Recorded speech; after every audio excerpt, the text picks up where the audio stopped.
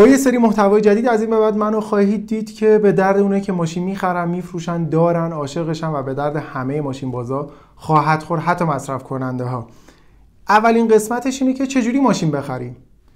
اینکه اول کار چجوری شروع کنیم چه ملاکایی مهم هستن وسط کار چه احتیاطایی کنیم به کجا مراجعه کنیم و تا انتهای کار که چیکار کنیم و ماشین رو سلامت و بدون دردسر در اختیار بگیریم با بودجه معقول. با من همراه باشید.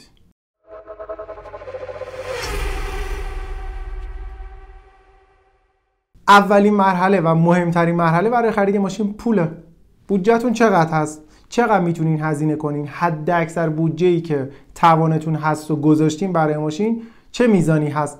توصیه من اینه برای اونایی که می‌خوان ماشین دست دوم بگیره مخصوصا ماشینایی که مثلا دو سه سال گذشته ازشون اینکه یه درصدی 15 20 درصد از اون پوله رو کنار بذارن به خاطر هزینه تعمیراتی که ماشین ممکنه داشته باشه صفرش کنین همه زیربندی و مصرفی اینجور چیزاش داستانایی که ممکنه داشته باشه در مورد رنگ داخل صفرشویی اینا. و البته بیمه بدنه که خیلی مهمه داشته باشه. یه 15 درصد 20 درصد 10 درصد از اون بودجهتون رو کنار بذارید بعد بودجه‌ای که دارین رو قبل اینکه برین سراغ اینکه چه ماشینی بخواین نظر خودتون رو روی کاغذ بنویسین. چه برندهایی دوست دارین چه ماشینایی دوست دارین. اینا رو روی کاغذ بنویسین یادداشت کنین کنار بذارین. سایت های خرید و فروش اینترنتی خودرو چند تایشون خیلی بزرگ هست. حالا اعتبار دارن یا ندارن رو اسمشو نمی‌برم. ولی برین توی اونجا و بسته به بودجه‌ای که داریم مثلا همون 800 تومن نهایتا 800 تومن می‌خوایم بزنین یه 800 تومن بزنین و کل ماشینایی که براتون هیچ فیلتر دیگه براش نذارین. کل ماشینایی که براتون میاره رو نگاش کنیم معمولا برای مثلا بودجه از 600 تومن به بعد در نظر بگیریم 600 700 تومن به بعد هر بازه 100 تومنی مثلا 700 تومن تا 800 میلیون تومن بین 40 تا 80 انتخاب به صورت میانگین. 40 تا 80 انتخاب خودرویی هست. از ماشین مدل پایین تا ماشین های 0 کیلومتر. همشون. حالا چه اونایی که خیلی گمنامن چه اونایی که روند بازار هستن. این تعداد می‌تونیم ببینی. حالا شما بیاین اینا رو اونایی که خودتون به نظر خودتون جذاب هست رو انتخاب و گلچین کنین. حالا وقتی که انتخابایی که تا حالا نداشتین رو یادداشت کردین کنار اونایی که مد نظرتون بود و بهشون توجه داشتین از قبل دوستشون داشتین می‌رسین به اینکه انتخاباتون رو محدود کنین بهشون فکر کنین بدون اینکه نگاه کنین به اینکه مثلا مزایا و معایب اون ماشین چی هستن؟ کارشناسی فعلا نبینین. اینکه خودتون نظر خودتون چی هست؟ به 10 تا انتخاب تقلیلش بدین. یعنی بیارینش پایین زیاد سرتون رو شلوغ نکنید 10 تا انتخاب نگه دارین روی کاغذ بقیه رو خط بزنین. حالا موقع اینه که بریم سراغ جزئیات. جزئیات چی هست؟ اینکه یه ماشین مهمترین قسمتش بعد از بودجهش خدمات قطعاتشه. تو شهر شما یا تو محدوده شما یا در جاهایی که قابل دسترس هستن برای شما آیا خدمات اون ماشین و قطعات اون ماشین در دسترس هست یا نه.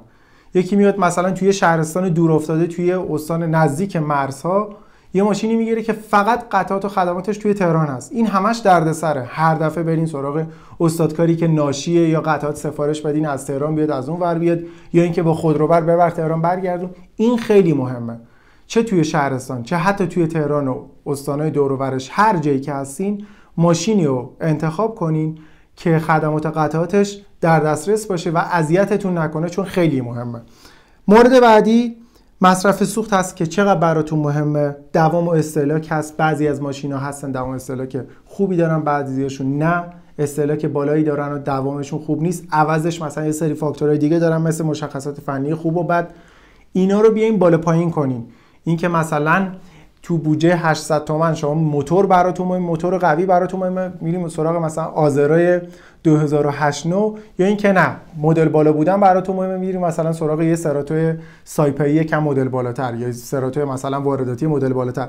اینا مهم هستن که شما کدومشون رو بخواین. اون چیزی که بسته به شخص شما هیچ کسی نمی‌تونه دقیقا مثل شما نظر بده توی این قضایا یکی از موارد دیگه که خیلی مهمه برای انتخاب ماشین اهمیت کوپلینگ موتور گیربکس هست. بعضی هستن مثل خودم خیلی براشون مهمه که پاشون رو روی مثلا گاز می‌ذارن. گیربکس دقیق باشه موتور کپ نکنه. بعضی اصلا براشون مهم نیست. اصلا شاید خبر نداشته باشن که کوپلینگ و دقت گیربکس اینا چی هست. براشون عادیه. اینا اهمیت دارن تو اینکه اون ده تا انتخاب رو بیاریم پایین تر یعنی تعدادشون رو کمتر کنین.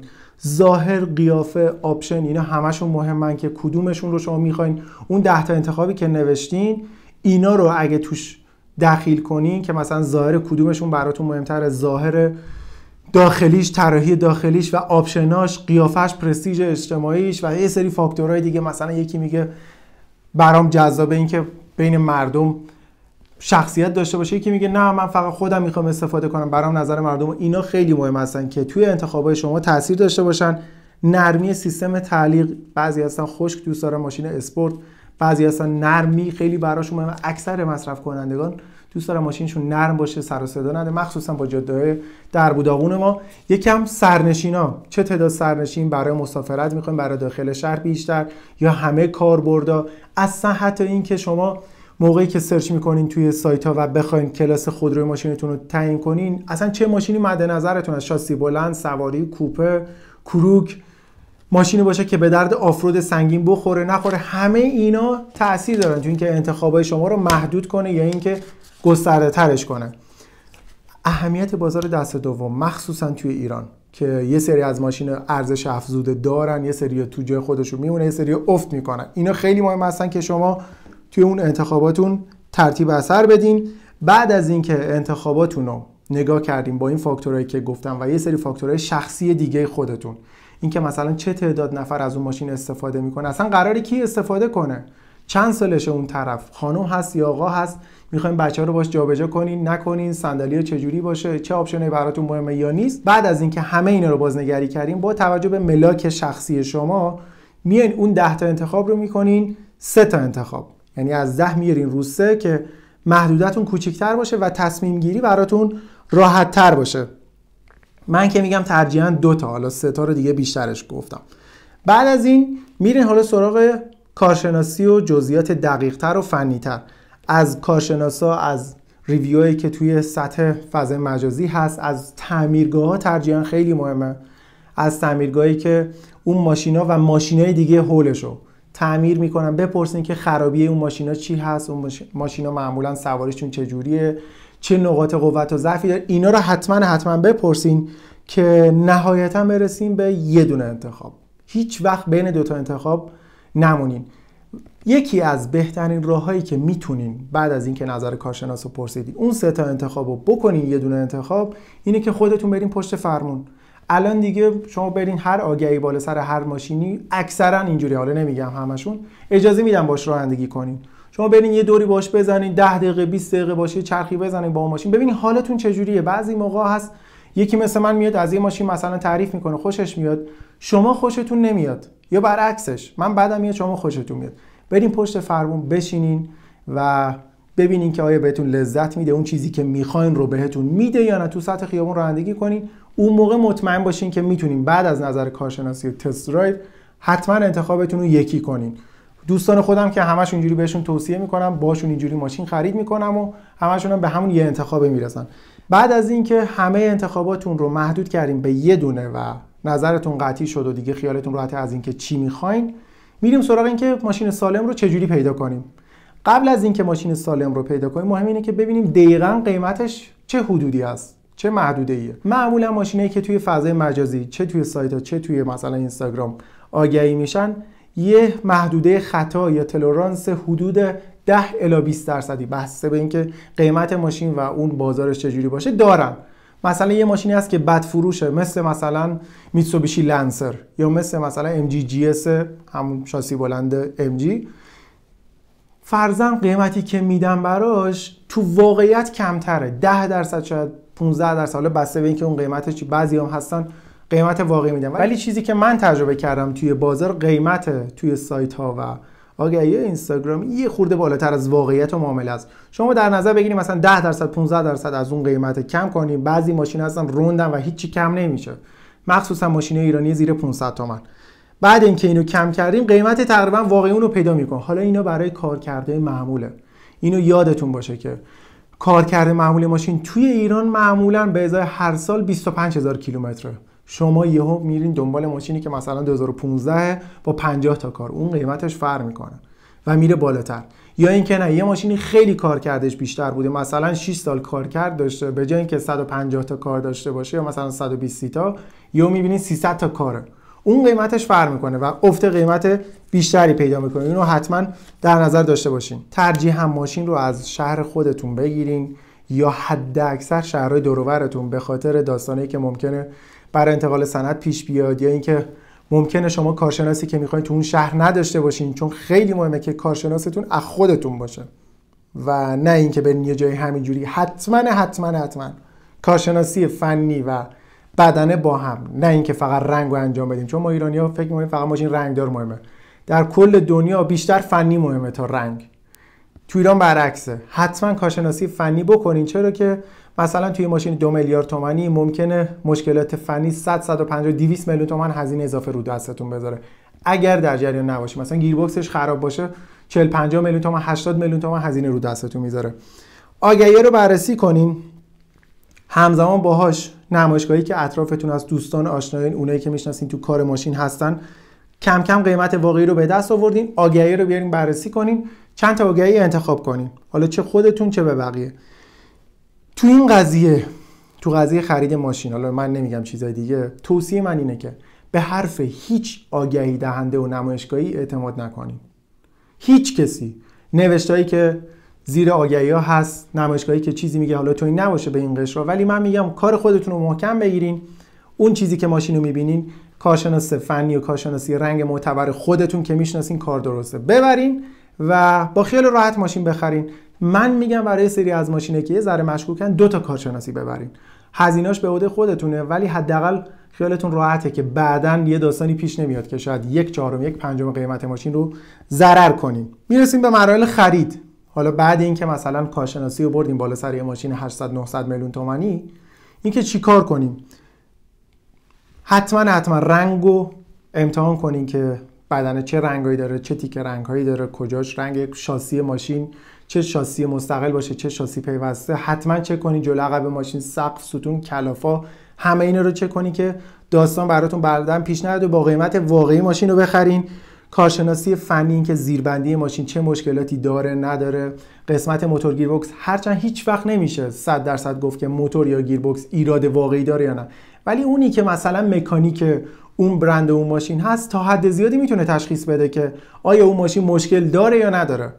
یعنی اونی که متخصص اون برند و ماشین است خیلی راحتتر از کارشناسی که همینجوری شما زنگ می‌زنی مثلا از فلان شرکت میاد ماشین رو کارشناسی می‌کنه. واقعا هم خیلی هاشون چیزی بلد نیستن و فقط یه دونه دیاگ می‌زنه مثلا میگه آره این اینجاش خطا داره نداره فلان تموم میشه. در حالی که کارشناس اصلی اون اصلا حتی شاید دیاگ هم نزنه. ماشین رو برونه به صدای موتور یا گیربکس یا زیربندی گوش بده بهتون میگه سالمه سالم نیست کارکردش واقعی یا نه. خیلی از ماشین کارکردشون تشخیص داده نمیشه. ماشین های آلمانی حالا ECU شون زیاده توی خیلی از جا ذخیره میشه البته نه همشون ولی ماشین کره ژاپنی اکثرشون نه همشون. فقط پشت صفحه کیلومتر و خیلی بد تشخیص داده میشه. نمیگم اصلا ولی خیلی سخت. برای همین مکانیک خودش باید 100 درصد باشه. شما ببرین برای کارشناسی فنی یا ببرین تعمیرگاهش ببرین روی جک. خیلی خیلی خیلی مهمه. موقعی که ماشین می‌خریم ببرین. جایی که ببرین روی جک. زیرش رو نگاه کنین زیرش نخورده باشه ببینین که اگزوزش عوض نشده باشه خیلی کار کرده باشه. کمکاش چجوری باشه؟ من مورد دیدم انقدر خوب صفرشویی کرده بودن که اصلا نمی‌شد تشخیص داد این ماشین مثلا 40 تا کار نیست 150 تا کاره. رد مسواک زیر لچکه کمک عقبش بود. یه ماشین لنکروز 2012 13 بود. اون موقع می‌شد فهمید که ماشین کارکردش بالاتر بود. و خیلی ماهرانه صفرشویی کردم. برای همین روی جک شما زیر ماشین رو می‌بینین جایی پوسیده نپوسیده زنگ زدگی اصلا ماشین دویده ضربه از زیر داره نداره. همه اینا خیلی اهمیت دارن. و یه نکته که خیلی توش به مشکل می‌خورم. بعدا حالا ضربهش رو می‌بینن اینکه صحت و سلامت سند و مدارک. نگاه کنیم ببینیم به اسم کی کارت ملی مالک رو بگیرین. یکی دیگه نباشه فروش مال غیر انجام بده یا اینکه مثلا مال چند تا ورسه باشه. یه داستانی که پیش میاد. ماشین شسته رفته بخرین. و برین اونجا ببینین که اونجا حالا اونجایی که میگم موقعی که ماشین رو پیدا کردین ترجیحاً ببرین یه نمایشگاه معتبر. حالا آشنای خودتون باشه که بهتر. که یه کمیسیون ریزم بهشون بدین مشکل نیست. ایشون هم زحمت می‌کشن و دارن اعتبار خودشون رو می‌ذارن و قول میدن. یه کمیسیون بدین ولی عوضش کارو محکم بگیرن که بعدا داستان براتون پیش نیاد. سند و مدارک رو حتما حتما چک کنین بعدا براتون داستان درست نشه و یکی هم این که عجله نکنیم. یعنی همه اینا رو که گفتم می‌رسیم به این که عجله نکنیم. چرا بدو بدو باشه؟ چه عجله ای هست برای که ماشین بگیریم؟ مخصوصا دمدمای غروب ماشین نگیریم خیلی بهتره. چرا؟ چون مجبور میشیم مثلا یه بیانیه بدیم یه کاری بکنیم یه چیزی هست. موکول میشه به فرداش. حالا فرداش هزار داستان پیش میاد. غذای پارکینگ های دو قبضی و بیان دادن و طرف عوض می‌کنه که نمی‌دونم رنگ میپاشه رو ماشین. حالا اگه مثلا ماشین رو بندازین توی گاراژ یا نمایشگاه آشنای خودتون اونم باز یه چیزی. ولی من ترجیحم اینه که مثلا شما همه قرار گذاشتین. تا غروب طول کشید بگین آقا من ماشین رو می‌خوام. اوکی یه بیانه هم توی نمایشگاه می‌کشم اون نمایشگاه آشناتون. فردا میرین و صبح اول وقت کار تعویض پلکش رو انجام میدین و همزمان باهاش هم تصویه می‌کنین. حالا قضیه اینه که چجوری تصویه حساب بشه؟ اینم یه داستانی داره. معمولا بهتر اینه که چک رمزدار گرفته بشه یعنی شما چک رمزدار رو بدین. این بحث خریدار و فروشنده است یعنی بینشون است معمولا بهتره که چک رمزدار رو بگیریم به اسم طرف و موقعی که تعویض پلاک کرد مالک و شما شدین مالک جدید چک رمزدار رو بدین. حالا این نه نمی‌خواین چک رمزدار باشه. پولتون رو توی مثلا نمایشگاهی چیزی جایی که معتبر برای هر دو نفر باشه می‌کشین اونجا. میرین تعویض پلاک می‌کنین پول برداشت میشه و قضایش تموم میشه. خیلی مهمه که به بیمه ماشین هم توجه کنیم بیمه داره نداره حالا اون تو بحث‌های خریدش هست. بیمه بدنه داشته باشه خیلی بهتر نداشته باشه. به محض اینکه خرید کردین 100 درصد ماشین بیمه بدنه کنیم مخصوصا برای ماشینایی که یکم مدلشون بالاتره یا قیمتاشون بالای 700 800 تومن انجام بدین چون یه بار براتون خدایی نکرده تصادف پیش بیاد کلا پچیمون میشین از اینکه چرا بیمش نکردین. حتما حتما اینو یادتون نره من خیلی این اشتباه دیدم بین اونایی که می‌خوام ماشین بگیرن. امضا می‌کنن میگم مثلا با این شرایط اینکه فلانجاش رنگ این مشکل رو داره داره ماشین خریداری میشه امضا می‌کنم بعد می‌بره کارشناسی. اصلا این اشتباهه. کارشناسی کنین کامل همه چیزی که می‌خواین. اگه ماشین اوکی بود بعد بریم پای قرارداد و امضا رو انجام بدین. این خیلی خیلی مهمه. من دیدم این اشتباه زیاد انجام میدن. و اینکه همین. تموم شد. آخر سر بعد همین مراحل احتمال خیلی زیاد شما یه ماشین معقول و بسته به نیاز خودتون خریداری کردید. حالا نمیگم 100 درصد چون بازم احتمال کلاهبرداری و ماشین خراب بودن و موتورش به مشکل بخوره اینا هست. ولی اینایی که بهتون گفتم رو دقیق انجام بدین احتمال زیاد ماشین دلخواه خودتون رو می‌گیرین که بعدا متضرر نشین امیدوارم که از این قسمت اول خوشتون اومده باشه. بعدا هم ادامه خواهیم داد. خوشحال میشم که channel رو subscribe کنین اگه ندارین و کامنت بذارین. تجربیات خودتون از خرید ماشین یا چیزایی که من گفتم بهش اضافه کنین یا چیزایی که اشتباه گفتم رو بگین. یه لایک هم بذارین ما رو خیلی خوشحالتر می‌کنین. تا ویدیو بعدی بررسی بعدی آموزش بعدی یا گپ و گفت بعدی بدرود.